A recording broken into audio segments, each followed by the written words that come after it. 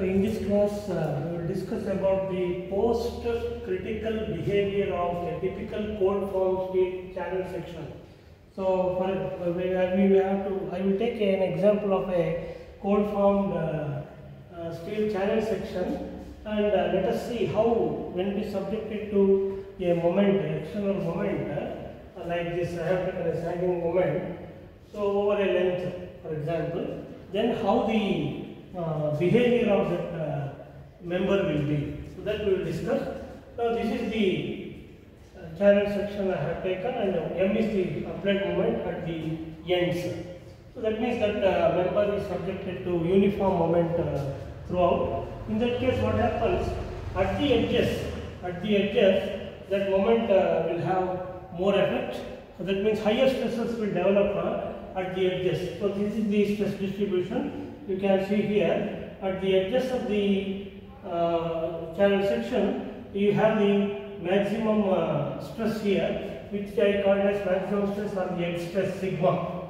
Okay. Now when you come towards the center the effect is almost uh, less. So that means um, there will be a less stressed region uh, at the when you come towards the center of the uh, section.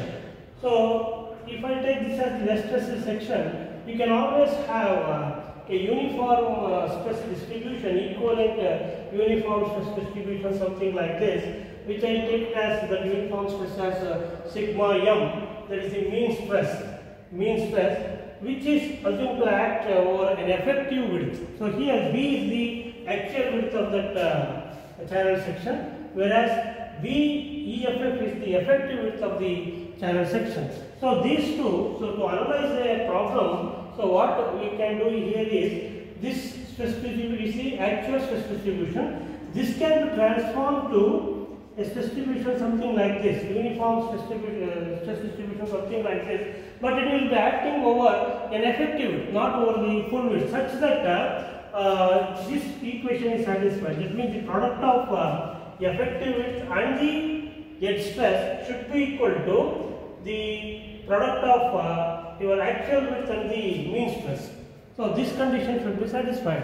Then only we can have the definition of this uh, B effective. That means B effective can be written as B into sigma m by sigma sigma. That is edge stress. So here this ratio B effective divided by B is less than 1 normally or at the most it can be equal to 1 if this B effective is equal to uh, that B. That means um, here what you can say here is this moment M is largely resisted by the regions near the edges. So near the edges it is largely resisted.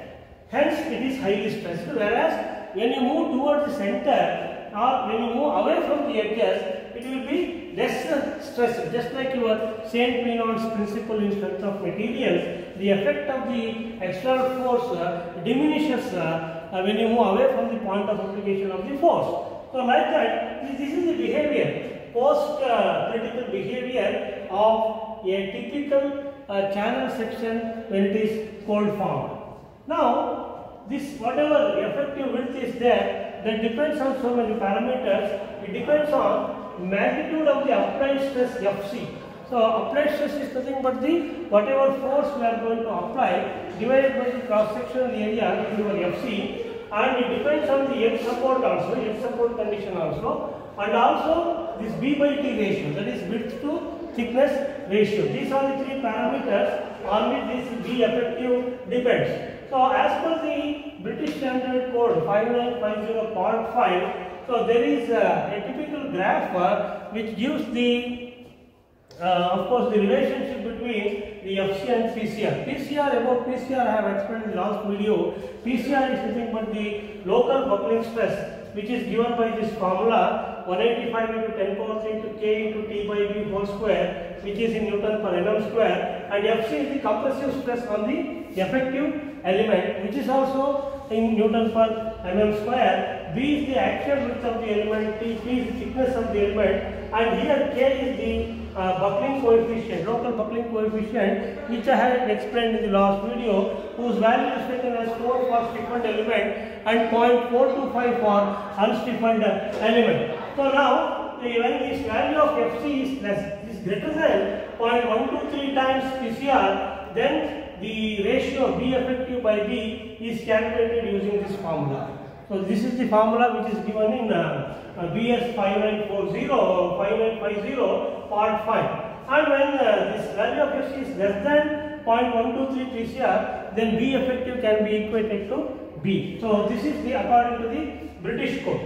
Now when you plot a graph of uh, B effective by B versus B by T versus B by T for a compression plate for a compression plate with simple edge support that means the edges are simply supported and taking Fy as 280 Newton per mm square. I told you uh, that uh, in the case of cold form steel sections the Fy value can be enhanced up to uh, 15 to 30 percent of uh, the actual value.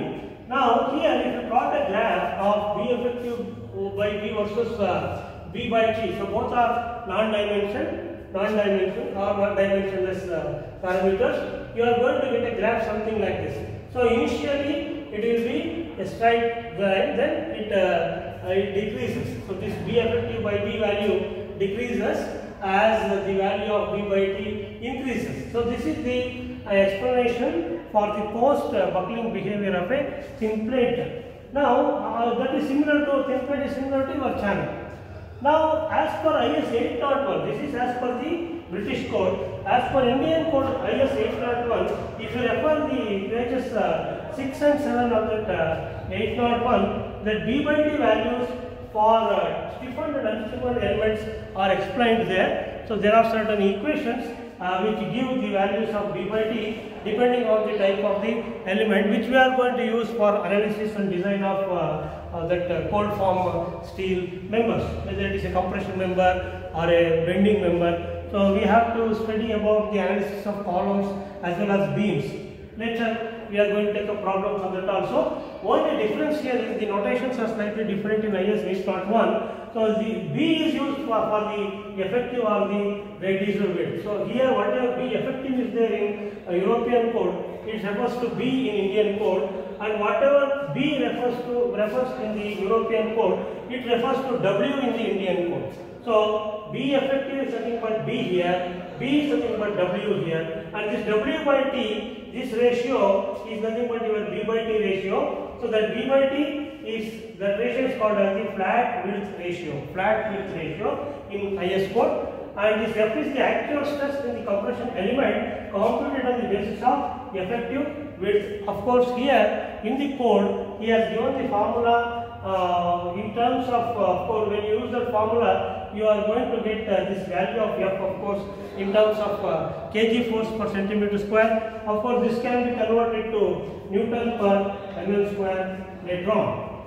So because nowadays the unit used for stress is Newton per mm square. You know that 1 kg force is 9.81 Newton and 1 centimeter is 10 mm. So what we have to do here is when you want to convert this kg force per centimeters to Newton per mm square, this is the conversion factor. So you have to multiply by 9.81 and you have to divide 1 centimeter is nothing but uh, uh, 10 mm. So therefore 10 square. So that is 100. So into 9.81 divided by 100 uh, gives the value in Newton per mm square. So this is what, uh, so what I mean to say here is, if you take the behavior of a typical uh, channel section in cold form steel structure, it behaves similar to a plate. So here when it is subjected to an external moment, uh, so maximum stress develops at the edges uh, and uh, the minimum stress develops uh, towards the center and an equivalent uh, section can be taken by adopting the concept of effective width.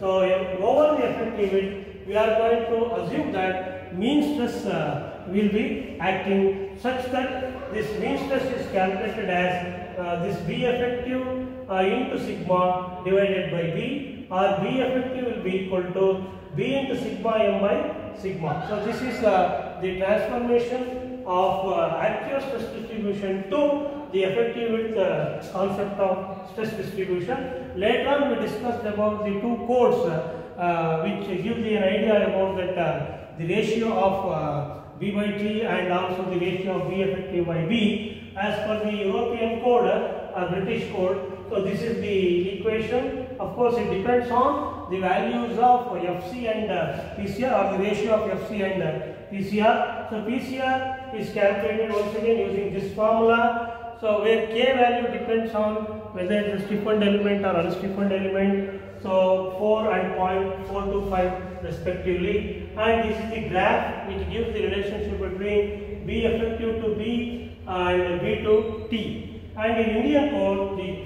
only notations are different. So B effective is replaced by B, B is replaced by W, and W by T is called as the flat width ratio. And using the IS 801, you can always find out the load carrying capacity of a given cold form steel section.